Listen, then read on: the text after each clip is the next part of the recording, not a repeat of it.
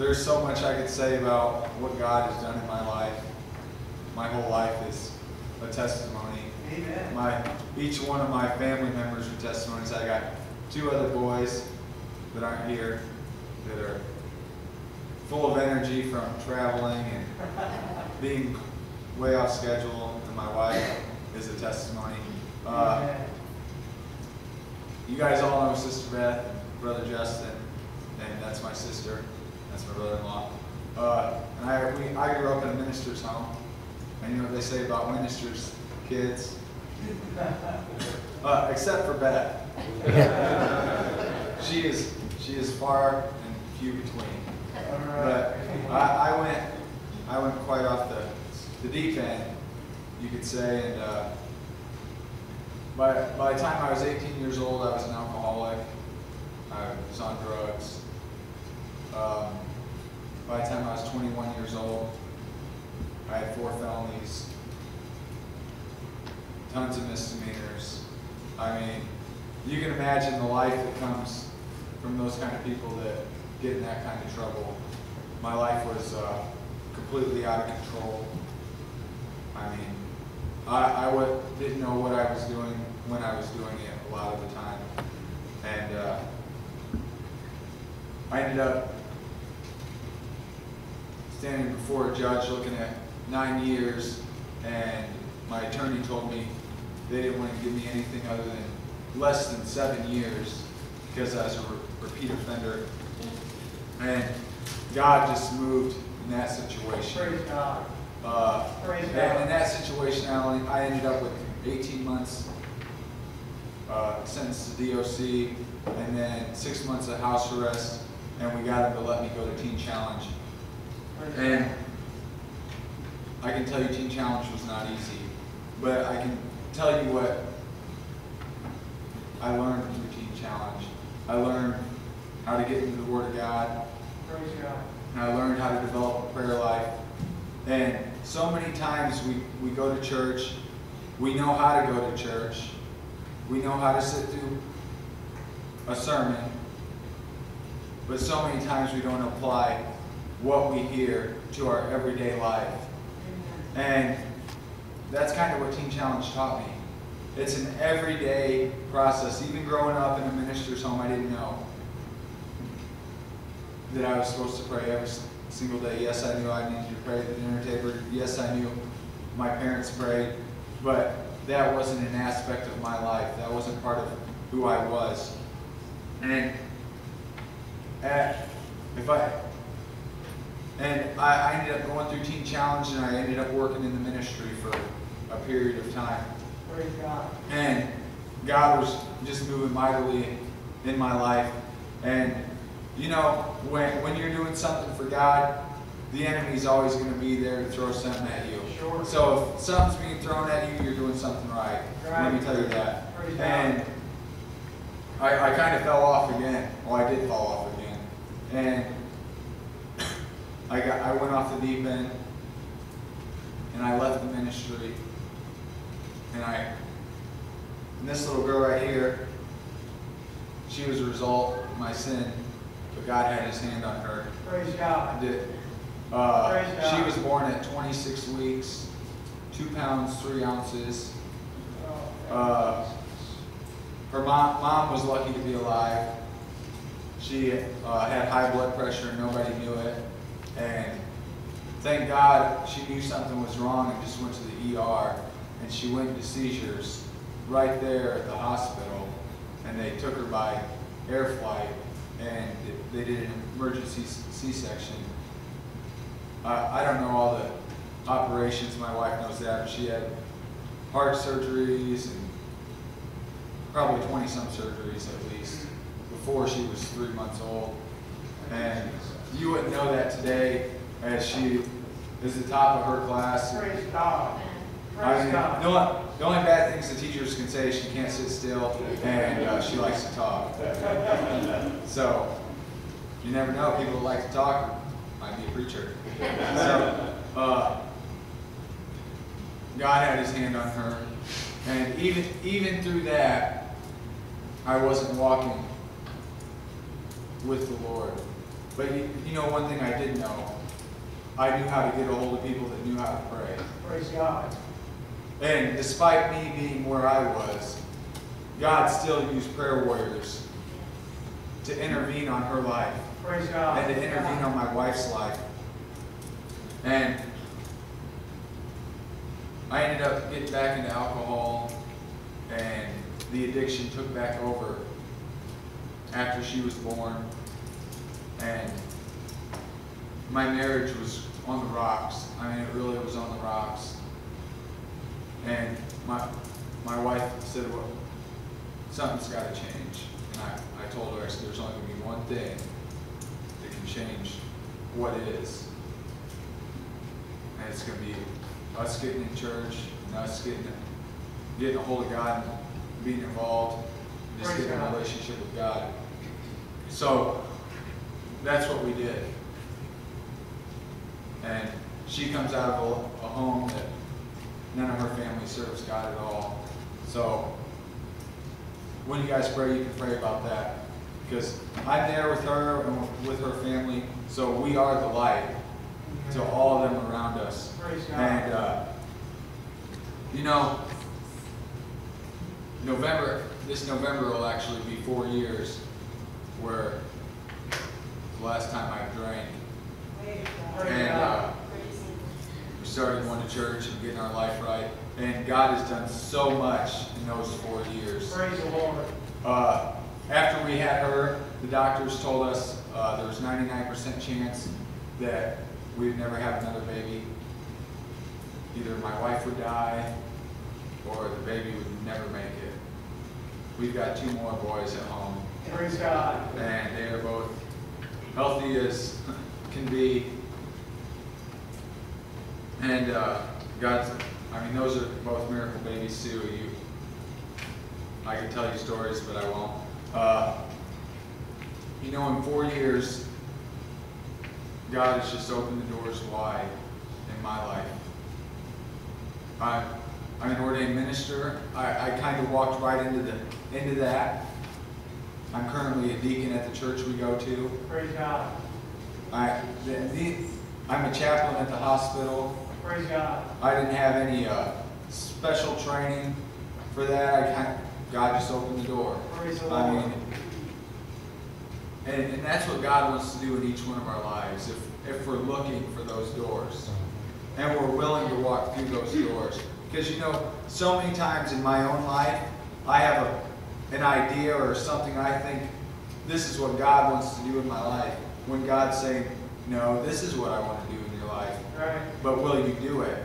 And that is my life. And there's so much more God wants to do in my life. And it's all because of prayer.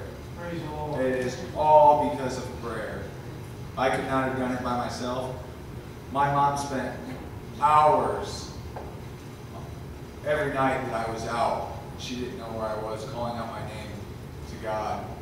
Praise God. You know, uh, she, she cried. I remember one time she said, well, I'm praying that God, uh, God uh, put you in the ministry of Teen Challenge and you work in Teen Challenge. Well, I ended up working in Teen Challenge. And then you know what I did? I left Teen Challenge on bad terms. And you know what God did?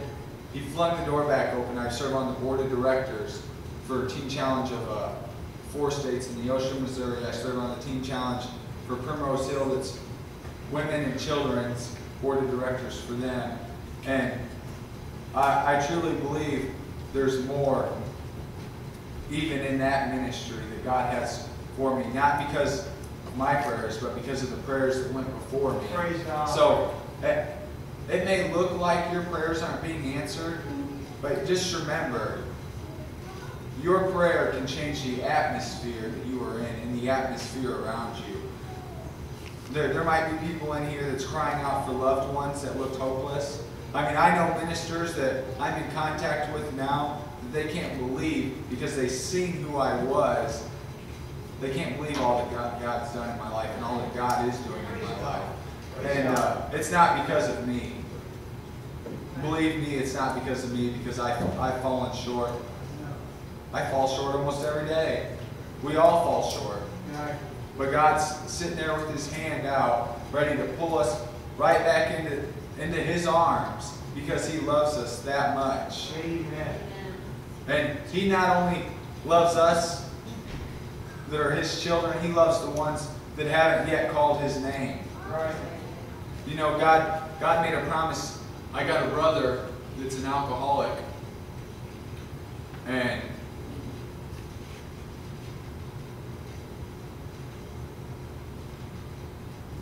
you know, when I was in Teen Challenge, we were we were we were on ministry, and somebody came up to me, pray- prayed over me, and they began to speak about what God was going to bring him out of, Praise God. and that God was going to save his soul. And you know what I'm doing? I'm standing on that promise. Praise God. Amen. God doesn't speak things like that to lie because God is not a liar. Right. But you know what I can do? I can believe the enemy, but I refuse to believe the enemy. Amen. I'm standing on the word of God, Amen. even though everything around his life looks like there is no hope. But you know what? It's those prayers that went before. Those prayers that my mother cried out. Those prayers that I cried out when I was in Teen Challenge and spent hours crying out for his soul. You know what God was doing? He was answering my prayer at that moment. Praise God. He's still answering my prayer. Yes. It hasn't been answered yet, but he's already told me it's going to be answered. Praise God. There's, there's people in your life that you're crying out for for healing that God wants to move. And God says, don't give up. Right. Don't give up. Do not doubt. Sometimes we give up right at that, we're right at the breaking point of crossing that line. So many times. You know, uh, I got one scripture I'll share. Yeah, you're good. You're doing good. Uh, uh, let's see. Well, it's 1 Corinthians 2 9. I don't want to misquote it. Everybody's heard this verse. But it is written, Eye has not seen, nor ear heard, nor have entered into the heart of man the things which God has prepared for those that love him. Amen. You know, if we love God, there's God will open the windows of heaven. I mean, He truly will. Mm-hmm. It'll be in a way that we might not expect it, or we don't even know it's available. But God has that kind of love to give you things that you haven't even seen, to move in your family in ways that you don't even know to be moved. Amen. I mean, he's already done it in my family. He could do nothing else in my family, and he's already blown my mind. He really has. I mean, he's given me three kids that are healthy. He's kept my wife alive, alive twice through pregnancies. The last pregnancy, her blood pressure was so high the nurses were scared. She didn't have a clue. But you know what? God had his hand on her. Praise God. God has brought, brought her so far from where she is. You know, so many times we get caught up on what we don't see the growth that we want in people's life. But sometimes we don't know what they came out of. That's true. That's true. Amen. And let's face it, we're living in a dark world. We are living in a dark world. And as uh, Pastor Saville already said uh, about the leadership, now is our time. Now is the church's time. Amen. If ever there was a time for America to rise up in this dark hour, now is the time. Amen. You know, let me encourage you don't give up. Don't give up on your prayers. Do not give up because God hasn't given up. God didn't give up on me. Even when I turned my back and walked away after He already brought me out. Thank you, Jesus. And He's still there extending His hand. And He's still there opening doors. And, you know, what? I, I know there's, there's more for my life because of where God has brought me out of. Because of the battles that, the, the, the things that are coming against me. Not because of who I am, but because of how I want God to move in my life. Amen. Because it's God's. My life is God's. Amen. Praise God. Not, and God is good. I mean, let me just tell you that. God is good. I'm going to turn the service over.